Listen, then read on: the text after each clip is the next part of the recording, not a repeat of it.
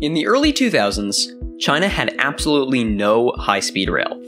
Just 20 years later, and China has built what is potentially the world's most impressive railway network to date, with over 25,000 miles of high speed rail.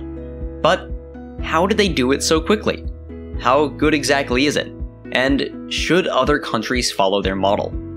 There are both huge positives and a lot of negatives to the Chinese high speed rail network, so let's take a look at this ambitious megaproject. The Chinese high speed rail network is run exclusively by state owned operators and funded by a combination of government revenue and debt. This system has been both a blessing and a curse for the network. Their government owned system allows them to raise money quickly, build without restrictions from other government agencies, some of which have led to the human rights concerns and environmental concerns, and overall added efficiency to the project. It also allows them easy access to the Chinese workforce.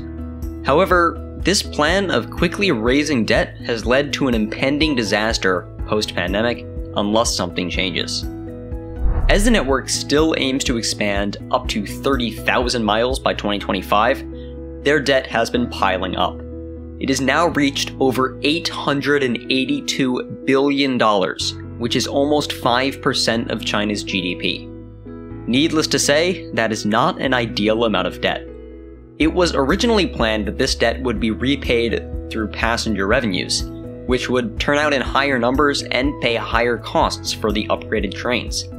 However, passenger numbers are still reportedly below expectations, and the debt just keeps piling on and the pandemic has definitely not helped that, as passengers have been hesitant to travel and, in the case of many places in China, completely banned from traveling for much of the pandemic and the last two years.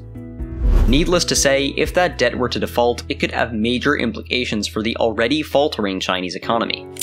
Thankfully, the Chinese railway has also proved to be a large economic boost to the economy over the years it has been built.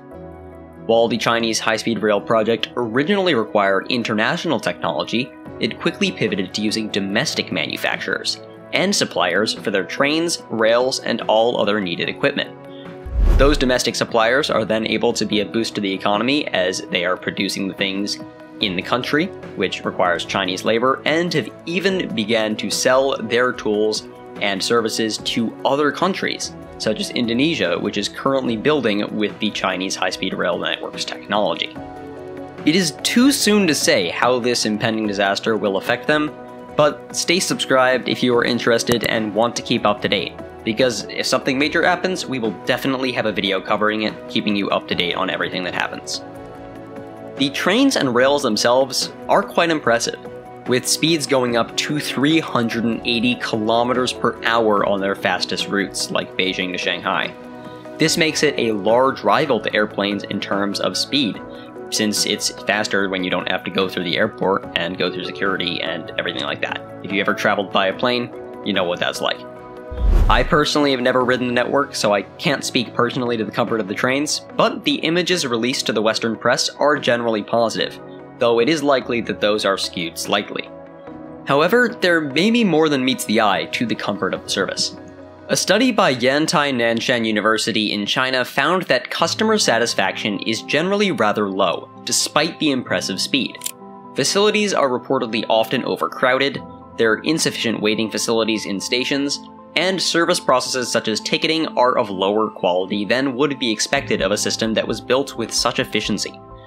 For example, the journal says that if passengers lose their tickets, they must get a refund and buy their ticket again, as the agents have no way to look up if they in fact purchased one in the first place, despite the ticket definitively being in their systems, as they are allowed to grant a refund after confirming the purchase.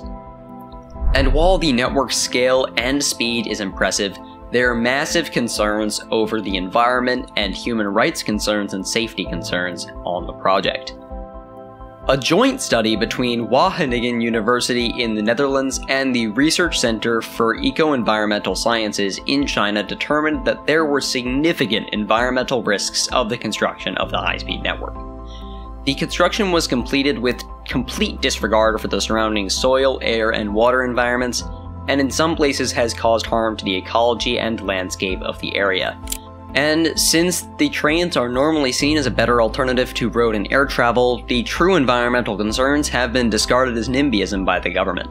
The creation of tracks has also caused significant harm to smaller towns, which may have had rail built straight through their homes without putting a station there, giving them all of the negatives of the train with none of the positives.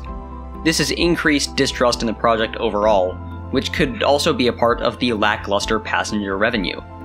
While some environmental departments in China have tried to sound the alarm on these issues, they generally have much weaker power than in Western countries, especially regarding government infrastructure projects. And while their power is slowly rising, it's still not enough to stop development, only to delay it. So, should other countries copy the Chinese model to effectively build high speed rail? Well, that is a very loaded question. From an environmental perspective, that seems like it would be a disastrous idea in the West. Listening to environmental regulators to protect the already dwindling nature in our countries is very important and cannot be overlooked, even if it adds some time to the projects.